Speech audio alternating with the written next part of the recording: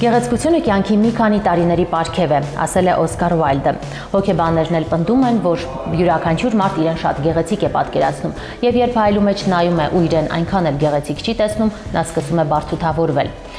Տարիների վեր մարդիկ ստիպված են եղել հաշտվել իրենց թերությունների հետ։ Այսօր արդեն շնորհիվ պլաստիկ վիրաբուժության հնարավոր է շտկել արտաքին տվյալների յուրաքանչյուր թերություն, հատկապես մեծ քիթը, բարակ շուրթերը եւ այլն։ Բարև հարգելի հերոստադիտող։ Մենք այս պահին գտնվում ենք Արզնի էսթետիկա կենտրոնում, որտեղ կատարվում են բացառապես բոլոր տիպի պլաստիկ վիրահատությունները։ Այսօր մենք կառանձնացնենք դրանցից մեկը, որը առավել եւս տարածված է Հայաստանում։ Մենք այսօր կխոսենք քթի պլաստիկ վիրահատության մասին, ռինոպլաստիկայի մասին եւ շնորհիվ պլաստիկ վիրաբույժի կբացահայտենք դրա հետ դրա միջոցով կատարվող վիրահատությունների բոլոր մանրամասները, նաեւ կխոսենք գնային քաղաքականությունից։ Այնպես որ ում հետաքրքրում է պլաստիկ վիրահատության այս ճյուղը, խնդրում եմ չհեռանալ ստանալ հեռուստաէկրաններից։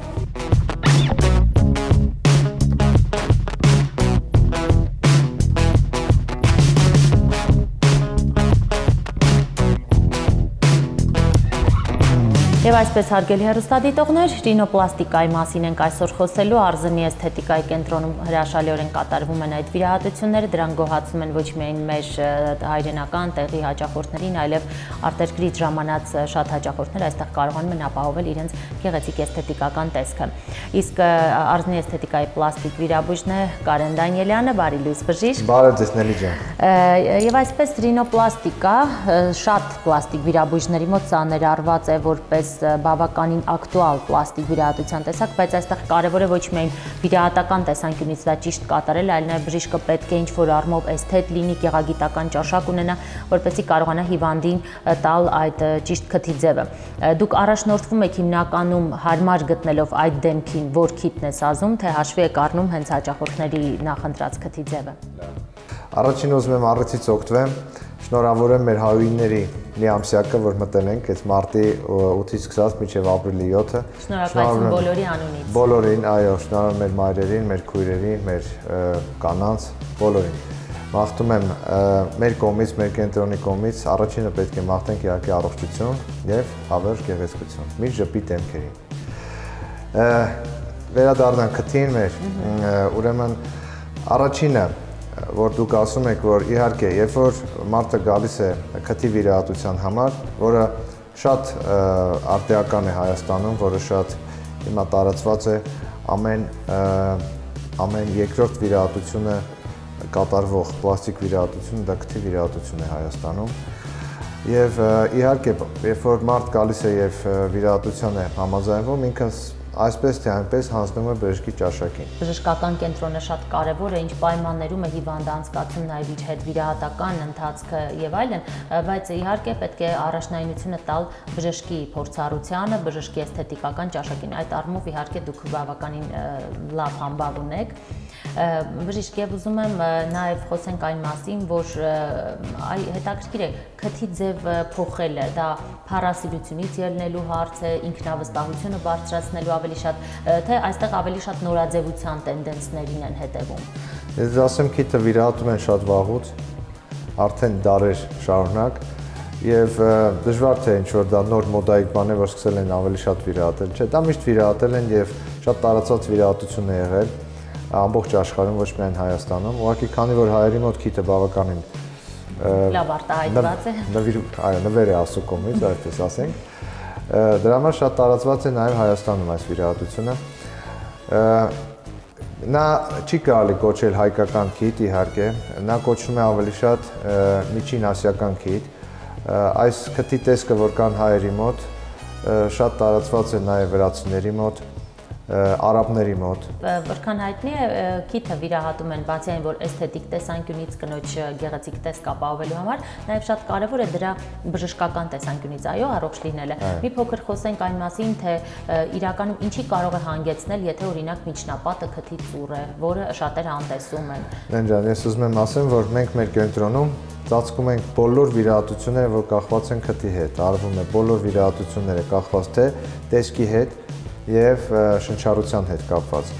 Մենք կատարում ենք բոլոր շնչառական խնդիրները ուղում ենք։ Դա կախված է թե խեցիների մեծացում, երբ որ լինում է հիմնականում ալերգիայից հետո, երբ որ մեծանում են քթի մեջ խեցիները, ժողովրդի մեջ տարածված է ասում են քթի միս,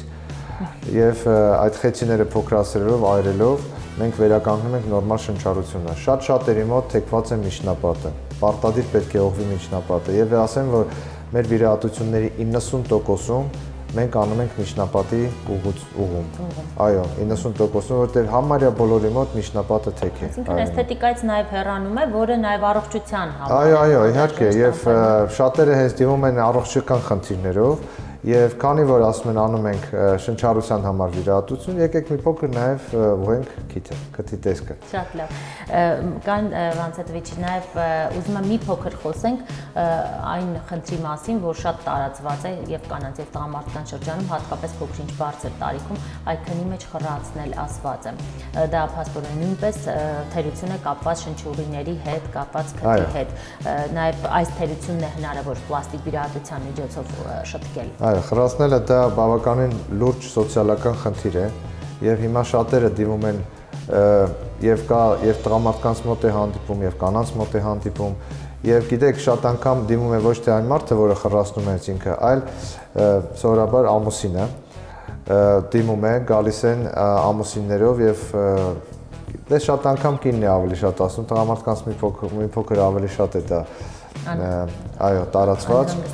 Այո, եւ կանայք գալիս են դիմում են, ասում են, խնդրում են, փրկեք, փրկեք մեր ամուսնությունը, որտեղ ել չենք դիմանում։ Իսկապես քնել չի լինում։ Կինը տարապում է, գիշերը մարդը տարապում է, երբ որ կողքը սկսում են խռացնել բավականին բարձր։ Բայց է, որ ով որ խռացնում է, նա չի։ Նա չի լսում, չէ, նա չի լսում։ Եվ մենք զբաղվում ենք այդ խնդրեմով նաև Դա իհարկե ոչ միայն քթի խնդիր է, դա ավելի շատ քիմքի խնդիր է, կոկորտի հետևի պատի խնդիր է եւ այսօրվա օրով մենք ստեղծում ենք բավականին լայն կենտրոն, որտեղ արվելու են այդ բոլոր հետազոտությունները հենց խրացնելու, խրացնելը ուղղելու, խրացնելը վերացնելու համար։ Դա ինչ է, օրինակ մարդուն քնասնում են հատուկ եւ դա սենյակը հատուկ, որտեղ կամերաներով նկարում են մարդուն քնած ժամանակ եւ քնած ժամանակ հատուկ ֆիբրոսկոպ կա, դա էլաստիկ հատուկ կամերա է, որ այդ կամերայով մտնում են քթից եւ քնած ժամանակ հետազոտում են ներսում պատը։ Այսինքն պատճառը հստակ հայտնաբերելուն է։ Ձեր պատճառը քնած ժամանակ։ Միայն քնած ժամանակ կարելի է հասկանալ թե խռոցը որտեղից է գալիս։ Դա գիտեք շատ պատճառներ, դա կարող է գալ թեք միջնապատից, կարող է գալ քիմքից, կարող է գալ լեզվակից, կամ նույնիսկ նշիկներից, մեծացած նշիկներից։ Եվ այդ այդ քնած ժամանակ դա մենք տեսնում ենք եւ արդեն կարողանում ենք ճիշտ ձևով կատարել վիրահատությունը եւ օգնել մարդկանց եւ փրկել ամուսնությունը։ Այո, դուք փաստորեն այս կենտրոնի շնորհիվ նաեւ փրկում եք ամուսնական կյանքեր։ Այո։ Բժիշկ մի փոքր նորից հետ անդրադառնանք մեր զրույցի սկզբին եւ ռինոպլաստիկայի թեմային կրկին անդրադառնանք, ինչը շատ ակտուալ է Հայաստանում, ինչը շատ շատերին ողջևորում է, բայց մտավախություն այնուամենայնիվ կա, որովհետեւ քիթը հենց բնորոշում է մարդու դեմքային գտնվում է դեմքի կենտրոնում եւ երևի թե հենց քթի միջոցով էլ տպավորվում է մարդու մոտ այլոց դեմքերը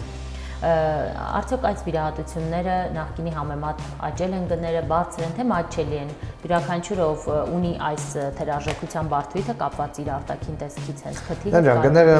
գները աճել են, աճել են եւ դա կախված է ոչ թե միայն նրա այդ որ ավելացել է հետաքրությունը այս վիրահատությունով, չէ,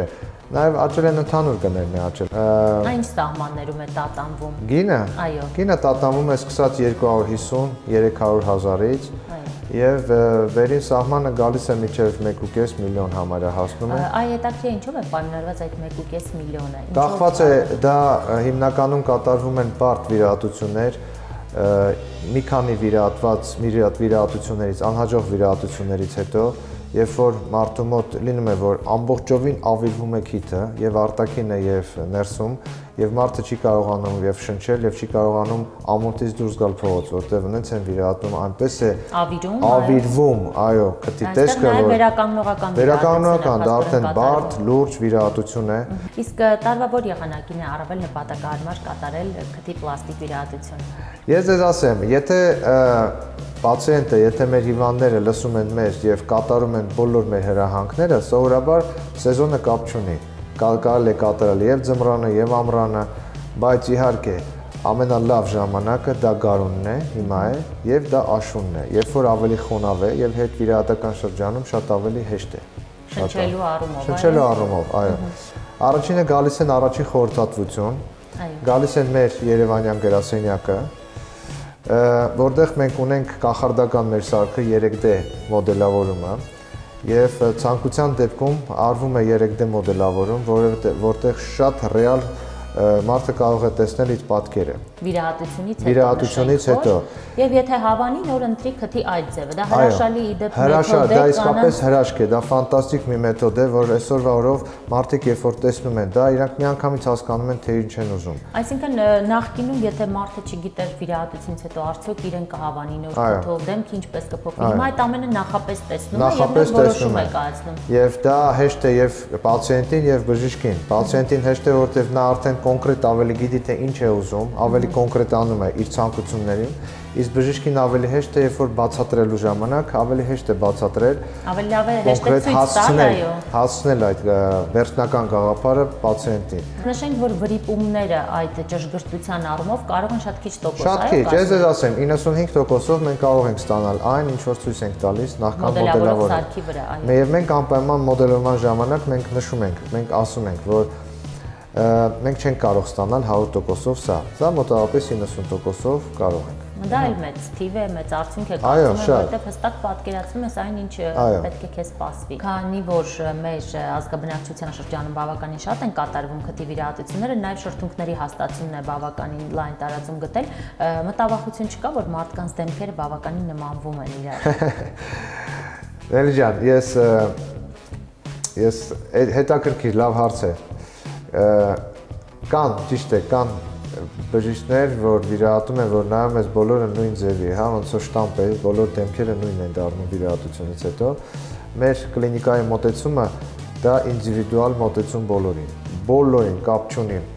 թե տարիքը, թե սեռը բոլորին ինդիվիդուալ է եւ մենք անպայման հենց այդ 3D մոդելավորումը, որ ասում ենք, մեզ օգնում է, որ մենք նախորոք չափում ենք բոլոր դեմքի թե երկար պարամետրերը բոլոր չափում ենք եւ քիթը նոր սարքվում է ըստ այդ պարամետրերի։ Դեռ մենք ունենք հատուկ երկարություն, որից չպետք է ավելի կարճ լինի։ Իդեպ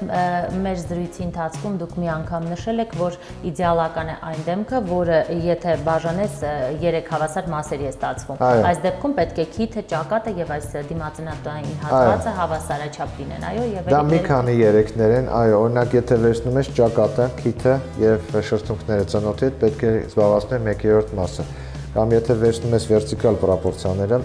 աչքը,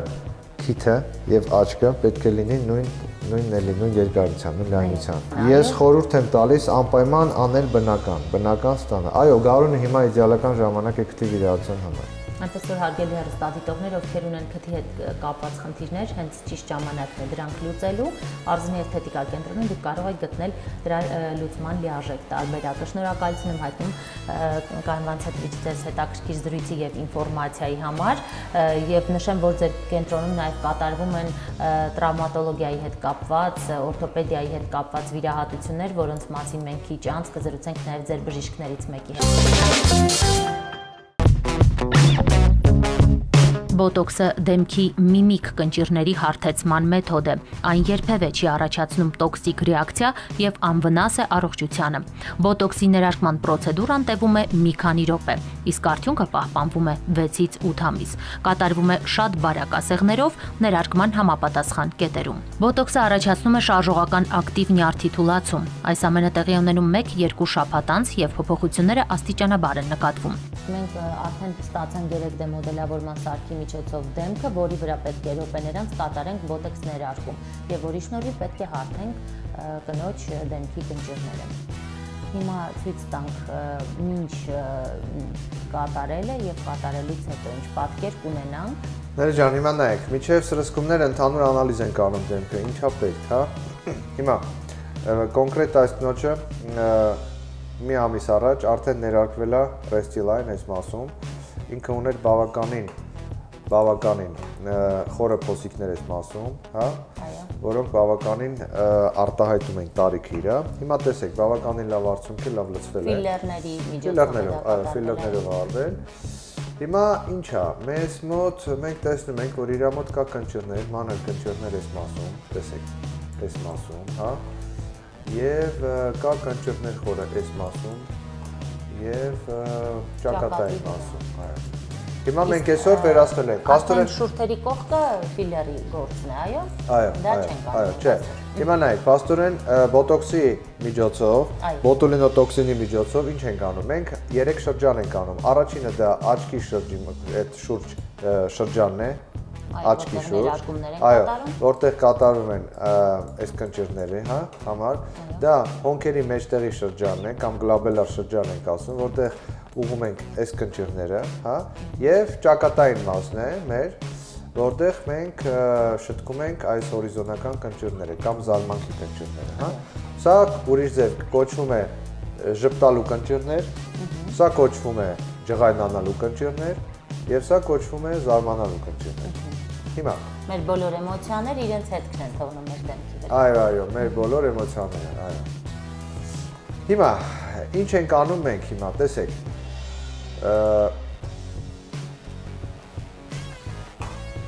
Վերցնենք օրինակ այս մեր կնճիռները, տեսեք։ Հարթեցնում ենք այս կնճիռը, հարթեցնում ենք այս մեր կնճիռները, ժպտալու կնճիռները Որքան ժամանակ կտևի այս հարթեցումը։ Հարթեցումը տևում է մի քանի րոպե, 10 րոպե ամենաշատը 10-15 րոպե։ Կրկնելու կարիքին Կրկնելու կարիքը սովորաբար արվում է տարին երկու անգամ, սովորաբար։ Ահա։ Մենք հիմա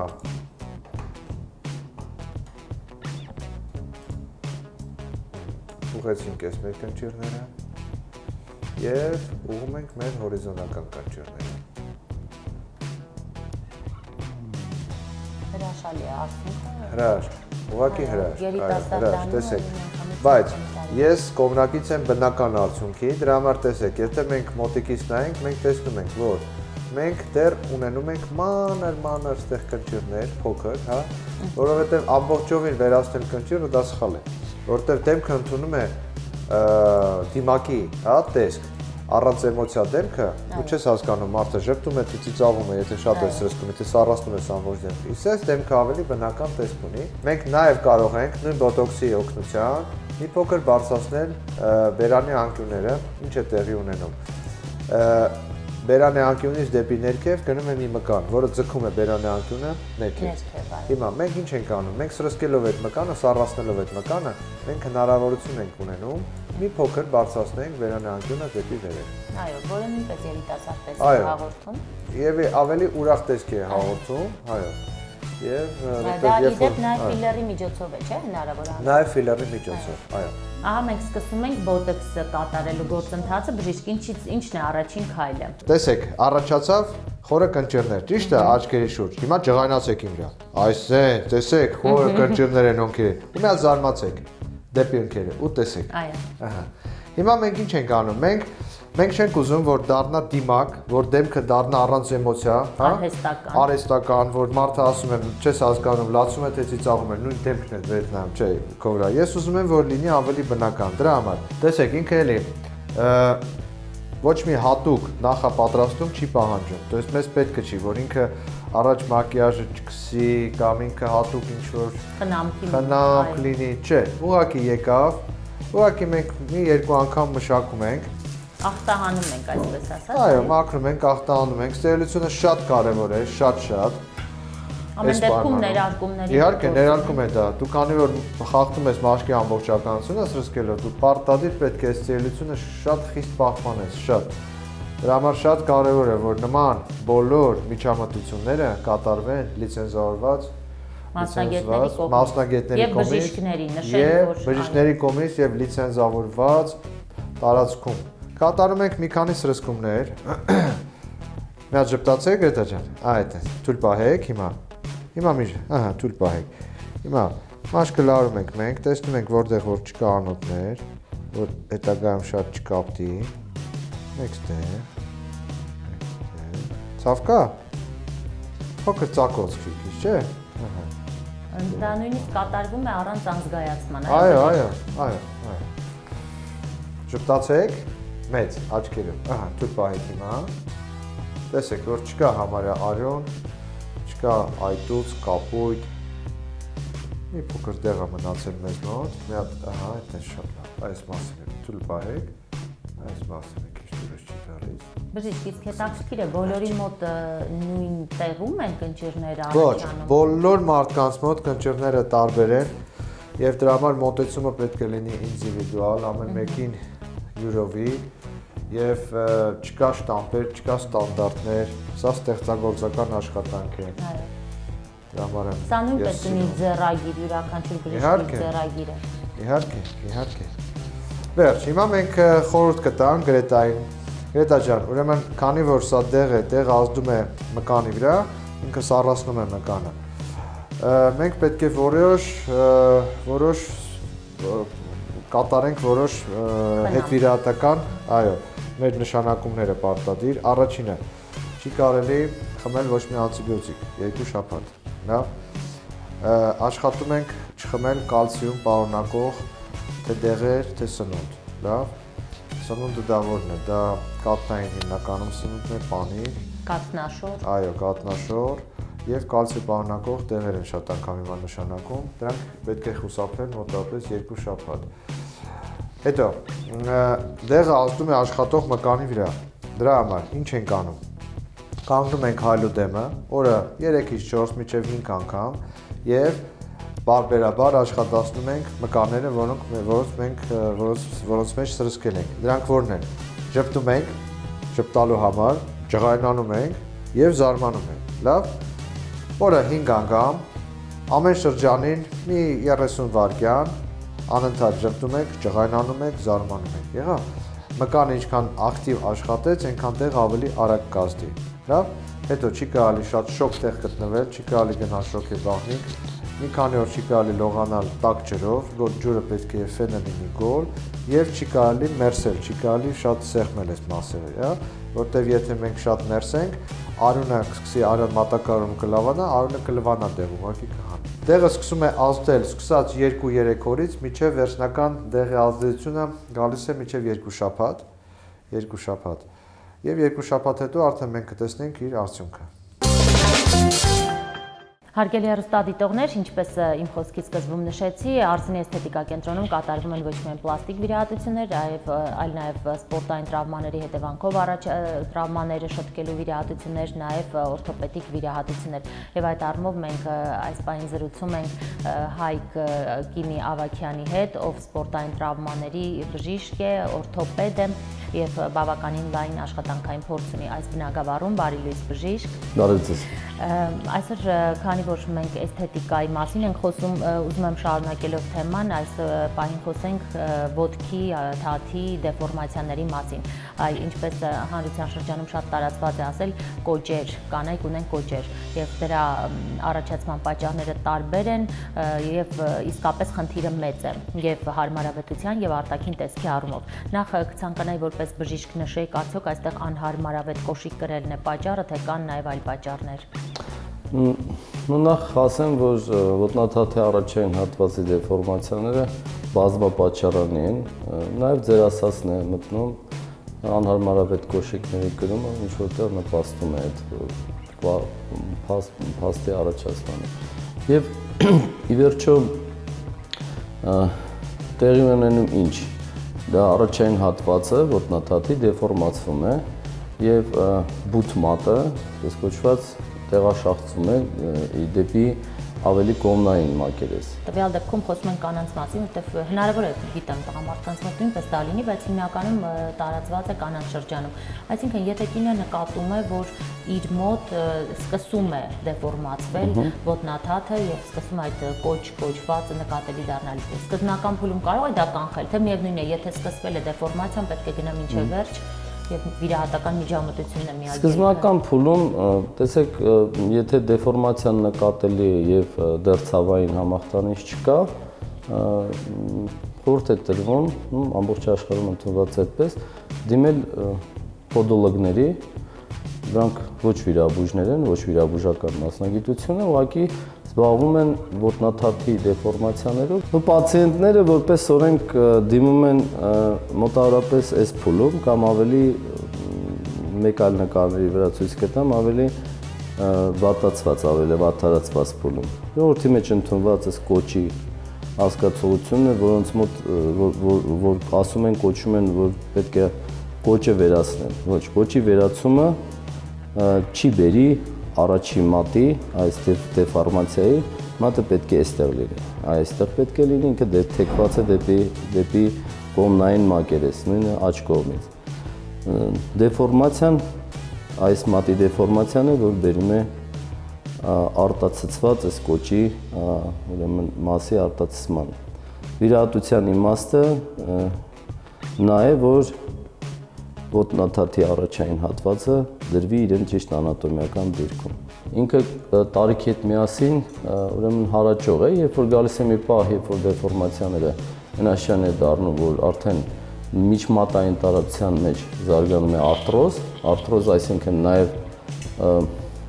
աճարային մակերեսների մաշվածություն է առաջանում, դեպքում արդեն իրաբուժական միջամտությունները որպես օրենք տանում ենք գարնան կամ ամռան ամիսներին, որտեվ իրատությունից հետո հիվանդները չեն կարող կրել փակ կոշիկ բավականին երկար ժամանակ կախված արտաքին դեֆորմացիայի աշճանից եւ շտկման համար կատարված, այսինքն վիրահատության ծավալից։ Իսկ վիրահատությունից հետո եթե արդեն ապակինվել է, կինը կարող է կրել բարձրակրում կոշիկներ։ Այո, մեծամասամբ դեպքերում շատ կարևոր հարց տվեցիք, բոլորին դա է հուզում, թե կարող են արդյոք էսթետիկ մասը վերականգնելուց հետո նաև կարող են արդյոք գեղեցիկ բարձակրում կոշիկներ հագնել։ Իհարկե, որ չի տրվում երկարատև բարձակրում կոշիկների կրումը, բայց կարճատև, ասենք, կարճաժամկետ։ Այո, հնարավոր։ 1 ժամով, 2 ժամով կարելի է կրել Շնորհակալություն։ Հարգելի կանայք, այնպես որ եթե ձեզ մոտ դեֆորմացվել է ոտնաթաթը, մի հաշտվեք այդ թերության հետ, դրանին պես կա հրաշալի վիրահատական լուծում